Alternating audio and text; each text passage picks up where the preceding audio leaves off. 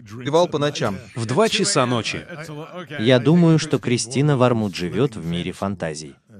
Я думаю, что если вы среднестатистический мужчина 18-20 лет, холостой парень, который хотя бы отдаленно отличается спортивным телосложением, который хочет пройти тестирование, хочет чего-то добиться в жизни, хочет присоединиться к элитной организации. И он смотрит на то, что ему показывают в этих рекламных роликах, и на то, что он видит. Он говорит спасибо, но нет спасибо. Я пойду в другое место. Как только мы начали рассказывать об этом всем, а это началось к тому времени, еще в 90-е годы, и, честно говоря, мы видели, как это началось в 70-е годы. Это длительный процесс того, что я называю гниением. Если вы скажете, что вон та маленькая Сьюзи, которая весит 90 фунтов или 110 фунтов, ничем не уступает Бобу, который имеет рост 6 футов и весит меньше. 220 фунтов. И она может делать все, что умеет он, и никакой разницы нет. Хорошо, ты получишь много Сьюзи, но не получишь другого парня. Если говорить об этом, то нет никаких причин, по которым они не могут участвовать в боевых действиях. У меня состоялся обмен мнениями с одним сенатором, когда я давал показания перед Сенатским комитетом по вооруженным силам, под комитетом по воздушным ресурсам. И он сказал, полковник Макгрегор, я что-то не слышал, чтобы вы часто упоминали женщин на поле боя. Вы выступаете против участия женщин в боевых действиях? Я сказал, да, сэр. Он сказал, почему это так? Я сказал, военная история насчитывает пять лет. Если вы можете себе представить, то все прошло не очень хорошо. Вы можете навязать федеральным силам все, что пожелаете. Вы можете это сделать. Но люди, которые придут сюда и будут эффективно сражаться за вас, не останутся здесь. Они уйдут. Я могу это гарантировать. Это верно как для корпуса морской пехоты, так и для армии. Я не могу говорить за военно-морской флот и военно-воздушные силы. Хотя я видел недавние комментарии этого человека, генерала Брауна. КЦ Браун должен стать следующим председателем, который говорит о том, что слишком много белых людей. Слишком много белых пилотов, нам нужно больше не белых и так далее. Я уверен, что это окажет пагубное воздействие на военно-воздушные силы, силы, но, возможно, это будет не так заметно. Несколько лет назад мне пришлось провести исследование. Я был на действительной военной службе, чтобы изучить влияние различных событий и проблем в вооруженных силах. И я столкнулся с французской армией в период с 1850 по 1871 год. И все думали в 1870 году, когда французская армия встретилась с прусаками в своей жизни, что французская армия эффективно уничтожит прусаков. По их мнению, прусаки почти не имели серьезного боевого опыта. Они всего лишь шесть недель воевали против австрийцев. В их интервью это звучало несерьезно. А что касается французов, то они сражались с мексиканцами и берберами. Они сражались с русскими и Крымом, и они собирались быть очень эффективными и так далее. А произошло прямо противоположное. Прусаки полностью уничтожили их. Суть в том, что гниль, которая подрывает дисциплину, лидерство и способности, может продолжаться годами без предупреждения, пока внезапно вас не бросят в бой и вам не придется сражаться.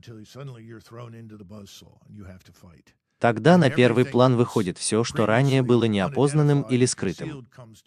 Это случилось с британцами в 1914 году. Это случилось с Макгейном в 1940 году. Вы должны внимательно присмотреться к этим социальным программам и политике, а также к стандартам дисциплины. И если они недостаточно высоки и не работают, вы не можете отмахнуться от них. Вы можете обойтись без них, если просто собираетесь занять передовую оперативную базу и сражаться с врагом, у которого почти нет никаких возможностей. И давай Давайте посмотрим правде в глаза.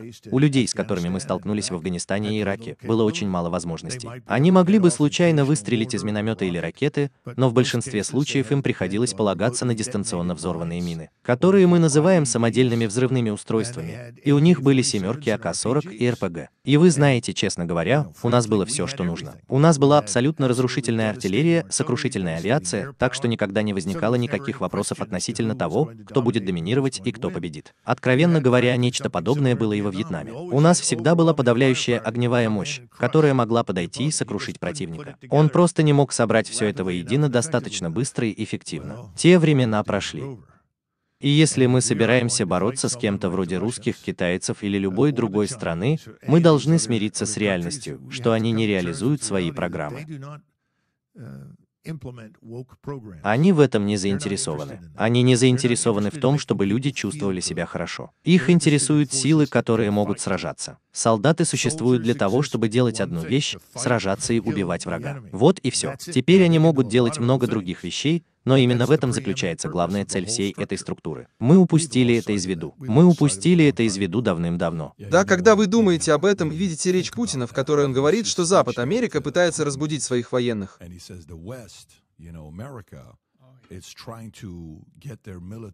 Он этого не делает. Он использует это своими собственными словами и говорит, мы не поступаемся нашими ценностями и принципами. Вот к чему мы все стремимся. Мы стремимся защитить Россию. И вы видите, какие аплодисменты это вызывает у аудитории.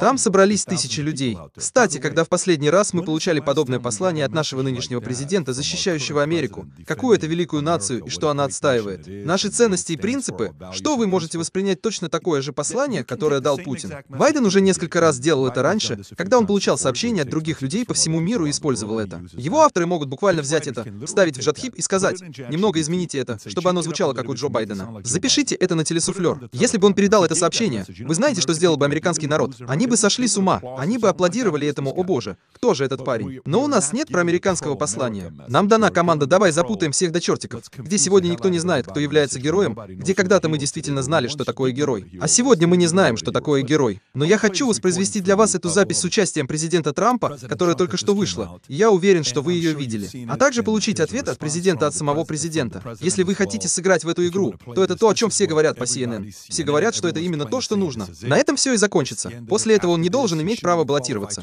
Если вы хотите, продолжайте играть в эту игру, а потом мы покажем вам его реакцию. У вас были больные люди. Это был ваш удачный ход, направленный против вас самих. Все началось в самом конце. Например, когда Милли говорит о том, что ты собирался попробовать ударить ногой. Нет, они пытались сделать это еще до того, как ты был приведен к присяге. И именно так и есть. Они пытаются разрушить твою жизнь. Позвольте мне взглянуть на это вместе с Милли. Я покажу вам один пример. Он сказал, что я хочу напасть на Иран.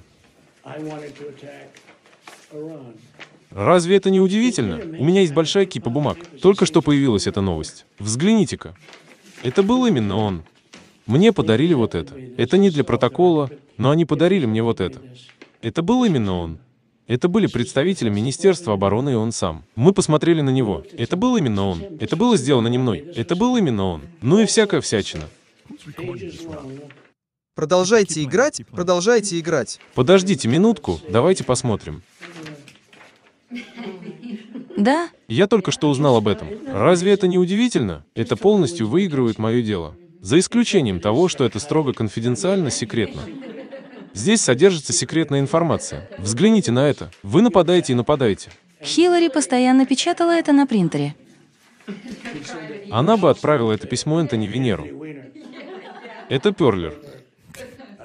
Кстати, разве это не невероятно? Да. Я просто сказал об этом, потому что мы как раз говорили об этом, и вы знаете, он сказал, что хочет напасть на Иран и все такое прочее. Так оно и есть. Ты очень хорошенький. Ну что же, это было сделано военными и передано мне в мое распоряжение. Я думаю, что мы, вероятно, сможем это сделать. Я не знаю. Нам нужно будет посмотреть. Да, мы постараемся это сделать. Разберитесь сами. Видите ли, как президент я мог бы удалить это сообщение. Нет, я не могу этого сделать, но... Теперь у нас возникла проблема. Разве это не интересно? Да. Это так здорово. Послушайте, мы слышали, что у меня это получилось. Не могли бы вы сделать паузу прямо сейчас? Так кто же это записывает? По данным CNN, аудиозапись взята из интервью, которое Трамп дал в июле 2021 года на своем курорте для людей, работающих над мемуарами для Марка Медоуза, бывшего главы администрации Трампа. Хорошо, так что идите к нему и спросите, кто эта дама. А кто эта дама? Это один из его сотрудников? Здесь в статье говорится, что среди присутствующих писателей издатели два сотрудника штаба Трампа.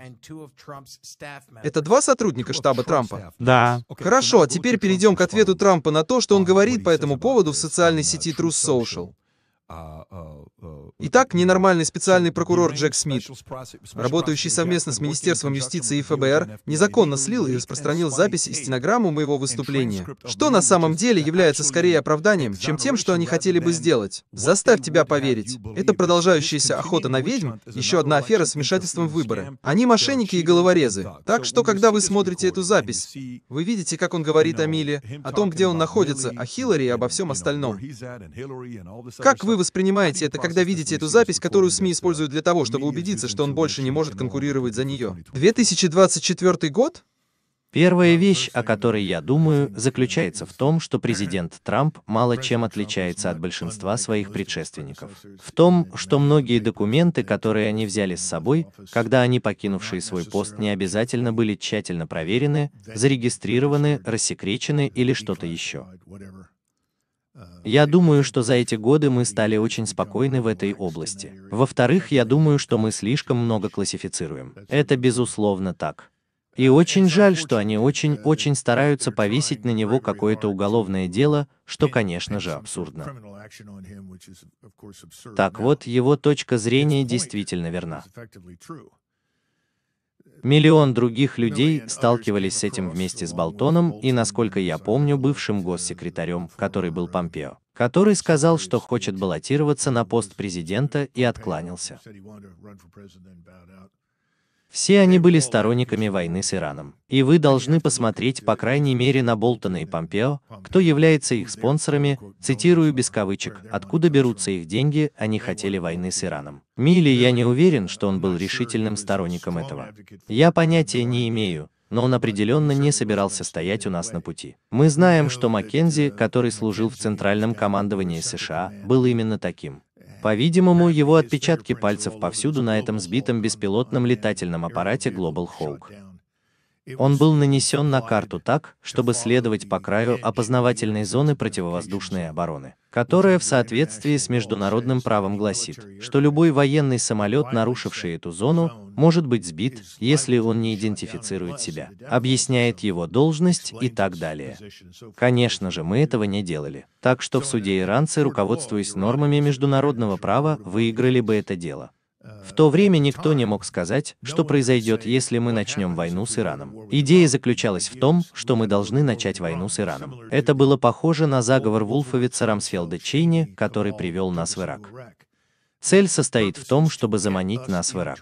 Тогда мы разберемся с этим. Очень похоже на то, что говорилось о Вьетнаме в 1965-66 годах. Что же мы там будем делать? Мы должны туда попасть. Давайте войдем туда. Мы с этим разберемся. Мы будем цитировать без кавычек и разбираться до конца. Вы никогда не путаетесь в деталях. Вы должны знать, в чем заключается ваша цель. Вы должны знать, как вы собираетесь достичь этой цели, а затем у вас должно быть видение того, как вы хотите, чтобы это выглядело в конце концов. Мы называем этот метод достижения достижения цели конечным состоянием. Дональд Трамп, будучи президентом Соединенных Штатов, предотвратил войну с Ираном, потому что он спросил, во-первых, что произойдет после того, как мы нанесем все эти удары.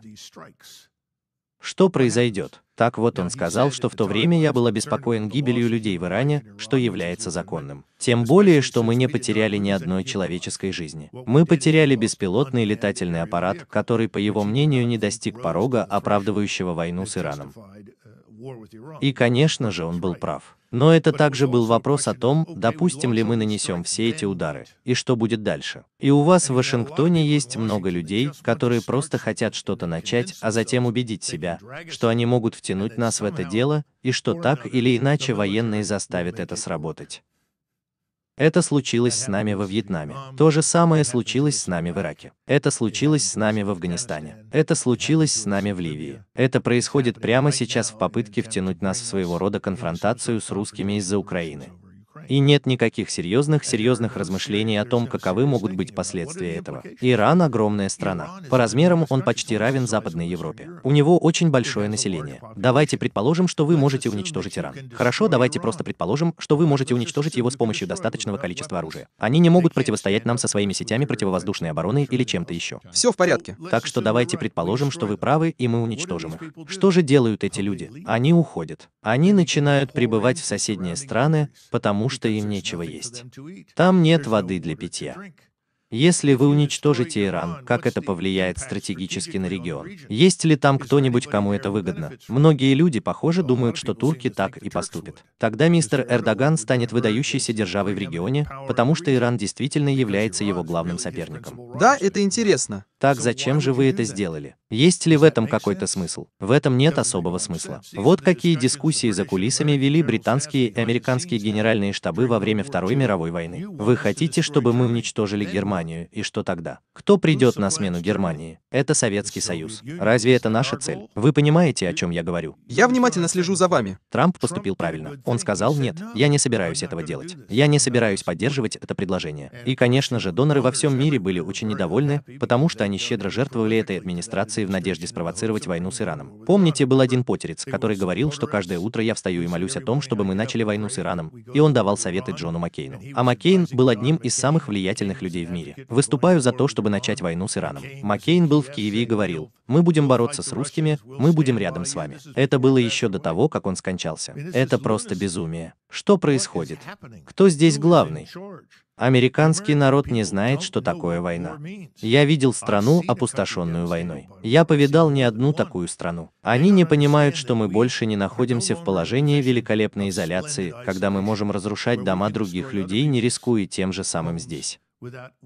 Когда вы начинаете иметь дело с русскими и китайцами, могут произойти всевозможные потенциально плохие вещи. Если вы считаете Мексику нашим другом, то у меня есть для вас новости. Мексиканцы всегда поддерживали тех, кто выступал против Соединенных Штатов. То же самое относится и к Венесуэле, и Кубе. Так вот, вы действительно хотите начать войну с этими людьми, а затем открыть второй фронт в Карибском бассейне, в Латинской Америке. Вы хотите, чтобы вас втянули в это дело? Никто об этом не думает. У нас нет никакой стратегической мысли, и никто не думает об американском народе. В чем же заключается интерес американского народа? Вы знаете, что отвечает интересам американского народа. Постройте процветание, восстановите эту экономику, верните рабочие места репатриантам, установите контроль над границей, остановите приток рабочей силы, которую мы не можем нанять. И если мы поверим фанатикам искусственного интеллекта, которые говорят нам об этом, то к 19 годам что же это будет? Сколько сейчас времени? 2040 год или что-то в этом роде? 80% всех нынешних низкоквалифицированных рабочих мест будут заменены искусственным интеллектом. Для чего мы привлекаем большинство этих людей? Это просто безумие. В этом нет никакого смысла. Так кто же сейчас думает о Соединенных Штатах, об американском обществе? Никто не думает об этом. Как вы думаете, можно ли использовать это для того, чтобы устранить его как кандидата? Или это все равно ничего не даст? Похоже, что они используют все возможное, чтобы устранить его. Как вы думаете, вчера я написал кое-что в Твиттере, Роб? Если вы можете зайти в Твиттер, то это просто то, что я написал вчера в Твиттере, и это заставило некоторых людей задуматься. Кто-то был расстроен, кому-то было любопытно, а кто-то подумал, какого черта ты вообще выставил это на всеобщее обозрение? Так что зайдите внутрь и увеличьте изображение вот здесь, вот здесь, если мы сможем увеличить его хорошо. Стратегия на 2024 год заключается в том, чтобы Ньюсом заменил Байдена. Хорошо? Шаг номер один. Пусть Ньюсом будет повсюду защищать Байдена, продавая записи Байдена, чтобы показать свою лояльность. Шаг номер два. Пусть он постоянно нападает на Десантиса. Демократы убеждены, что Трамп будет вынужден отказаться от участия в выборах. Шаг номер три.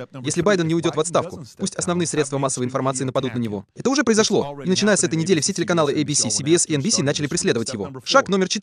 Как только Джилл Байден заметит эти бесконечные нападки, проведите частную встречу с Байденом, чтобы поделиться стратегией сохранения лица, если он уйдет в отставку. Шаг номер один. В многочисленных документальных фильмах он показан как современный президент Рузвельта. Во-вторых, заключена крупная сделка по продаже книг Саймона и Шустера. В-третьих, защити его наследие и получи прощение от Ньюсома, если дерьмо попадет в вентилятор. В следующий раз выбери один из нескольких вариантов ухода в отставку. Во-первых, сделай все возможное, чтобы помочь нам. Во-вторых, мы с Джилл помолились об этом и решили, что нам пора поехать и провести время с нашими внуками. В-третьих, мы исправили все, что сломал Трамп. Теперь пришло время, чтобы это сделал кто-то другой. В-четвертых, напомните Ньюсому, что он лоялен к Байдену, в отличие от Десантиса, который не лоялен к Трампу. Итак, чтобы предотвратить удар Камалы в спину и позволить ей стать первой женщиной-президентом на долю второго года, когда Байден уйдет в отставку, Хиллари сойдет с ума. Но что нового? И в-седьмых, разделите лагерь Десантиса и Трампа, чтобы убедиться, что Мага не проголосует за Десантиса. Шаг номер восемь гласит, что Ньюсому исполняется 47 лет, но я должен был бы сказать 48. И последнее, но не менее важное. Очень вероятно, что ничего из вышеперечисленного не произойдет. Вот почему это так важно. Это называется предсказанием. Но выживает только параноик. Так как вы думаете, будет ли Трамп участвовать в выборах в следующем году в качестве кандидата от республиканской партии? Во-первых, выживают только параноики. Одна из лучших книг, которые я когда-либо читал. Это Энди Грауф. Он порекомендовал мне эту книгу. И если вы хотите понять, что не так с военным истеблишментом, все, что вам нужно сделать, это прочитать то, что он описывает там с IBM и все эти другие крупные корпорации. Это блестящая книга. Я стараюсь, чтобы ее прочитали все желающие. А теперь, во-вторых, во-первых, я считаю, что она просто великолепна. И я думаю, что если бы мы жили в линейном мире, другими словами, словами, где одно событие логически следует за другим, то вы были бы абсолютно правы. Я не думаю, что мы когда-нибудь доживем до выборов 2024 года. Я думаю, что к тому времени в Вашингтоне все будет просто взорвано. Я думаю, что наше экономическое и финансовое положение очень хрупкое. Это приведет к тому, что ситуация в стране начнет ухудшаться самым ужасным образом. Скажу вам честно, я не знаю точно, как это произойдет. Я думаю, что в конечном итоге мы окажемся в ситуации, когда выяснится, что банки закрыты на 2-3 недели и никто не сможет в них попасть. Вы так думаете? Я думаю, что мы скоро столкнемся с чем-то подобным, да. Я также думаю, что уровень насилия и преступности в наших городах настолько высок,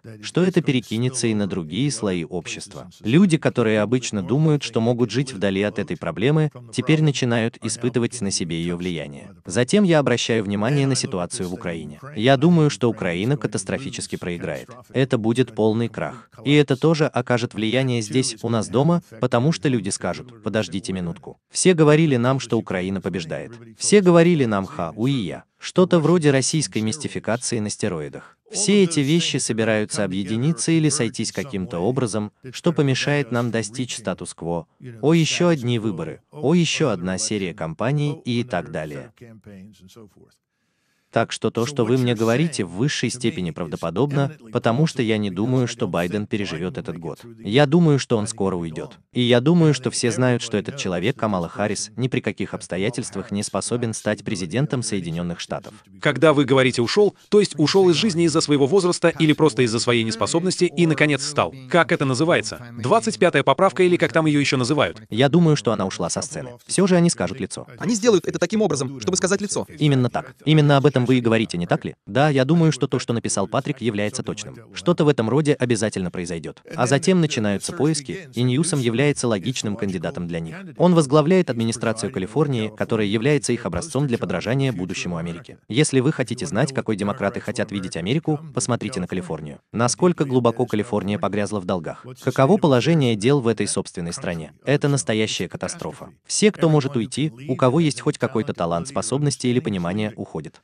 Предприятия уходят. Никто не хочет быть там. Так с чем же вы собираетесь в конечном итоге столкнуться? Очень небольшое меньшинство состоит из очень богатых людей и миллионов бедных людей, большинство из которых даже не считают себя американцами. Так вот, это и есть тот самый мир мечты для левых в Калифорнии. Да, именно так. Я не думаю, что мы будем мириться с этим. Так что я не думаю, что это когда-нибудь зайдет так далеко на национальном уровне. Нет, я могу ошибаться, но я не думаю, что мы настолько самодовольны. Я также знаю, что революционные перемены происходят, когда люди не могут есть, когда нарушаются цепочки поставок, и вы не можете доставлять продукты питания. Когда они не могут позволить себе купить продукты питания, когда они могут и не могу позволить себе купить бензин. Все эти вещи являются катализаторами реальных перемен. И все делают ставку на то, что левые, стоящие у руля в Вашингтоне, смогут продолжать все это без каких-либо перерывов. Возможно, они и правы. Я так не думаю. Да, я думаю, что это уныние. Что же это такое? Уныние и обреченность? Уныние и обреченность. Вероятность того, что это произойдет, для меня составляет менее 5%. Еще раз повторяю, мое мнение у вас есть. Я не считаю это унынием и обреченностью. Я вижу в этом нашего Спасителя. Кстати, все в порядке? Но вот в чем проблема. Я действительно согласен с тем фактом, что если бы они позволили Пауэллу выполнять свою работу в качестве председателя ФРС по повышению процентных ставок и снижению инфляции, мы бы пережили серьезный кризис. Переходный этап, когда люди бы поняли. Эй, чувак, весь этот фальшивый успех, которого мы добились за последние 128-19 месяцев экономического роста, закончился.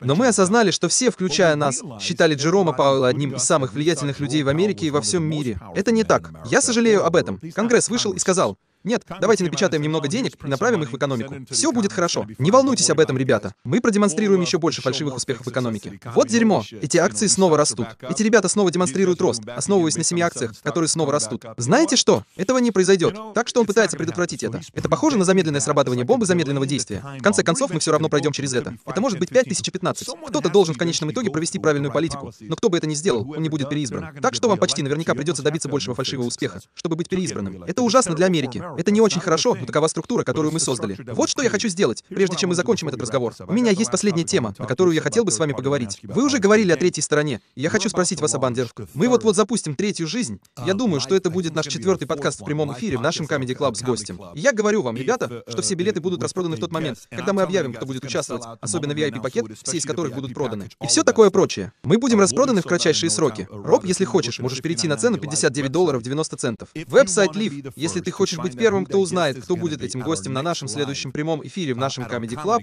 наш текстовый подкаст Cigar Lounge. На номер 301 миллион 340 тысяч 132 еще раз. Текстовый подкаст Эворд, звоните по номеру 310 340 тысяч 132. В последний раз у нас были Руди Джулиани и Дейв Рубин. Это была занимательная дискуссия, и мы сами провели ее. И у нас была возможность провести много времени со многими из вас, ребята. Мы разговариваем с некоторыми людьми, с которыми вы захотите принять участие в следующей дискуссии здесь. Но обязательно напишите слово «подкаст» по адресу 310 миллионов 340 тысяч 132. Полковник, это была фантастическая беседа. Вы уже говорили раньше, что, по-моему, пришло время, когда нам нужна третья сторона, чтобы восстать. Вы встречаетесь с...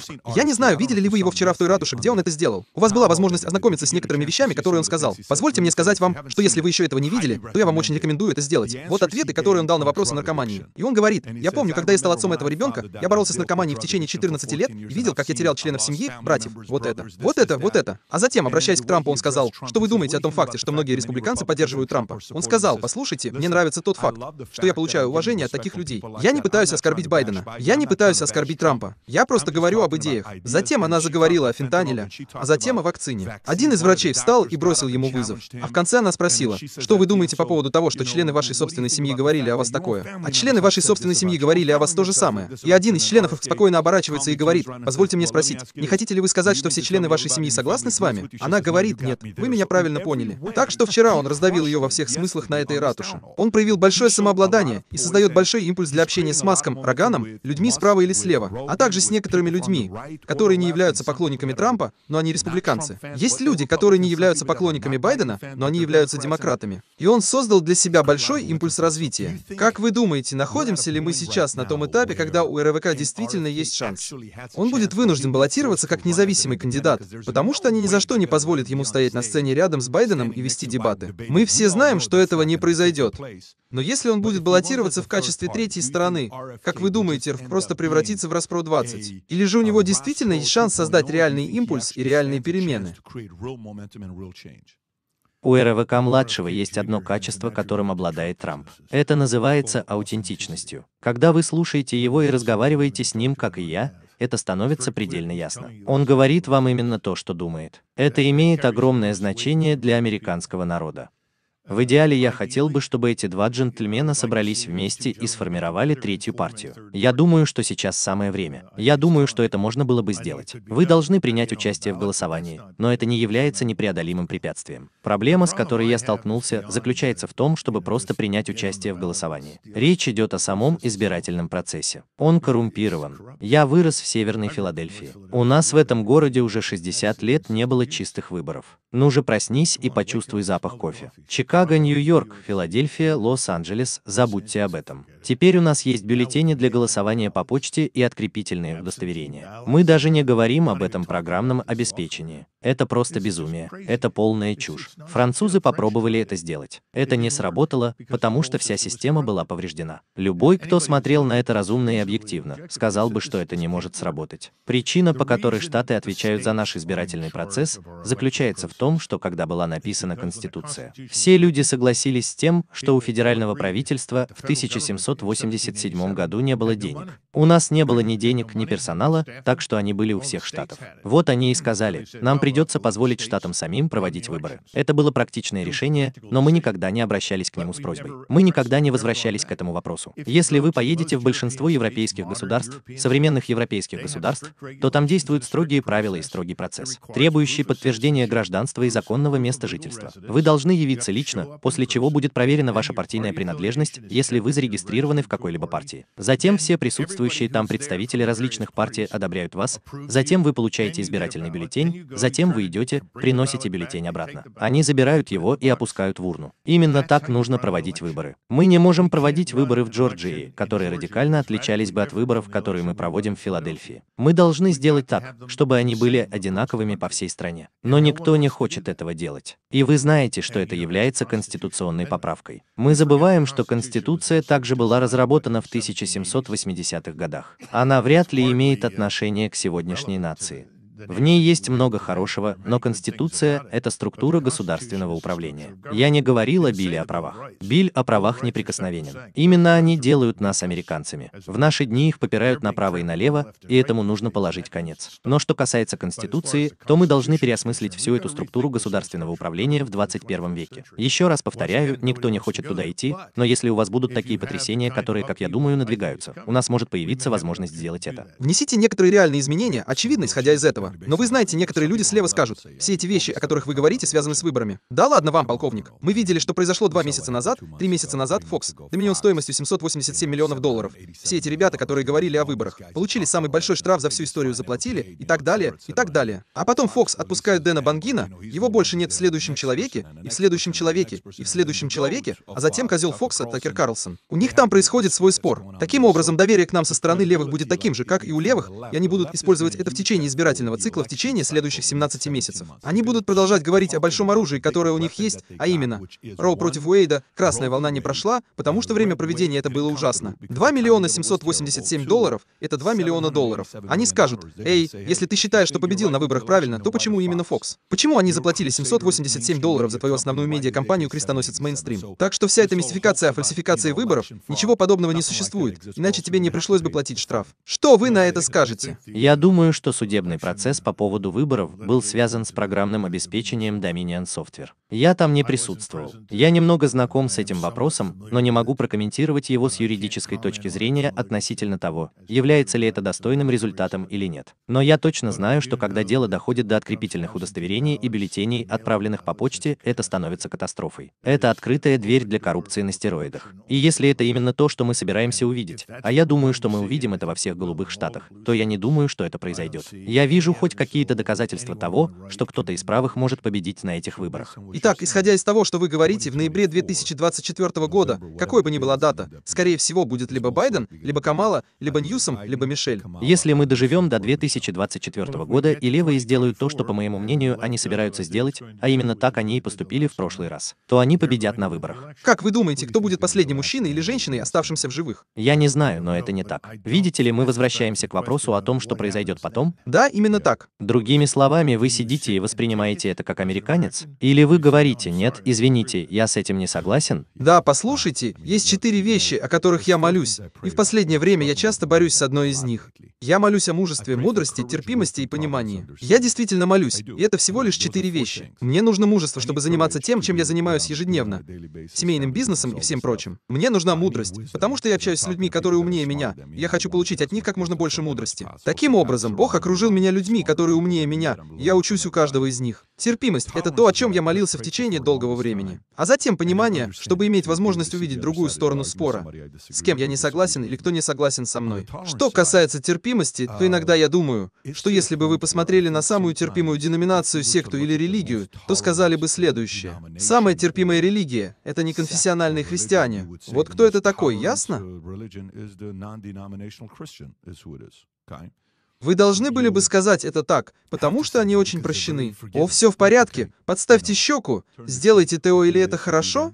И мы видим, что Индонезия является страной в мире с наименьшим количеством представителей ЛКПТК-сообщества. Менее 5% населения не являются членами ЛКПТК. Индонезия не поддерживает однополые браки. Менее 5% жителей Индонезии поддерживают однополые браки. Я думаю, что в Америке этот показатель составляет 72% плюс-минус. Судя по цифрам, он тоже только что снизился на 7%. Этот показатель составил 71% из 64%. Я думаю, что христиане являются частью проблемы в Америке. Я думаю, что ленивые республиканцы являются частью проблемы в Америке. Я думаю, что либертарианцы говорят, «Чувак, мне насрать, что ты делаешь. Просто оставь меня в покое, позволь мне зарабатывать свои деньги». Несмотря на то, что все эти вещи достойны уважения, я думаю, что все они являются частью проблемы. Потому что они не осознайте, что частью того, что делал Иисус или кто-то, кем они восхищались, была их нетерпимость к компромиссу с определенными ценностями и принципами. Они не исходили из того, что все в порядке, все в порядке, все в порядке. Они сказали, нет-нет, я не собираюсь переходить здесь с вами черту. Вы хотите это сделать? Сделайте это, но вы ошибаетесь, я с вами не согласен. Именно на этом мы и остановимся, когда каждый будет сам по себе, каждый сам по себе, каждый сам по себе. И эта концепция чрезмерной терпимости привела к тому, что Америка превратилась из величайшей страны в мире, где нас боялись, уважали и восхищались, и втайне все хотели быть похожими на нас. Конечно же, нас ненавидят. В любое время, когда ты станешь номером один, тебя будут ненавидеть. Кто самый ненавистный футбольный кутербек всех времен и народов? Это очень просто. А кто самый ненавистный баскетболист всех времен и народов? Это очень просто. А кто является самой ненавистной страной всех времен и народов? Это очень просто. Мы смогли сделать в этих странах то, чего не могли сделать в течение двух лет, тысячи лет. Мы сделали это за 150-200 лет. Конечно же, вы возненавидите эту страну, потому что она демонстрирует некомпетентность в вашей философии и ваших идеях, не так ли? Так что я понимаю это. Но я не могу согласиться с вами в том, что, по моему мнению, американский народ, принадлежащий к этим трем сектам. Ленивым республиканцам, либертарианцам, которые относятся друг к другу как к своим собственным, и двум терпимым христианам, которые говорят, что все в порядке. Я думаю, что они добры о том, что сделали эти 56 мужчин, храбрых людей, которые основали эту страну, и о том, почему я здесь как иммигрант из Ирана.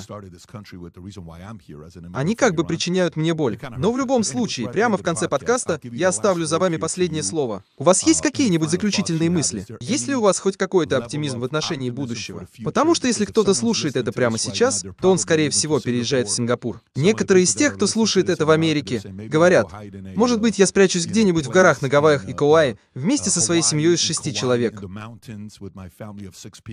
Должен ли я быть оптимистом или пессимистом в отношении будущего? Терпимость к невыносимому — это путь к верному разрушению. Этому должен быть положен конец. Именно это привело нас к преступности и усиливает ее повсюду.